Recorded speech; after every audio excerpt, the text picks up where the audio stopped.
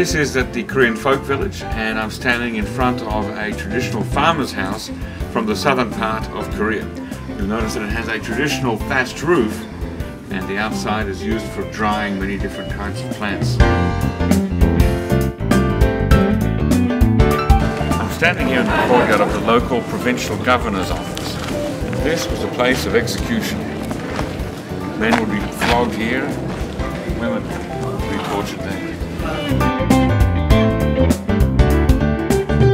Here at the uh, Korean Folk Village, uh, there is a traditional pipe master's workshop, and uh, he makes pipes the old way that people used to smoke with bamboo and metal ends and tubes.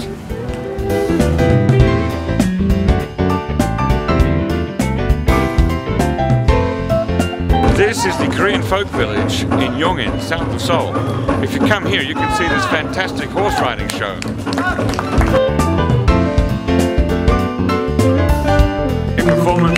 Farmers music at the Korean Folk Village in Yongin.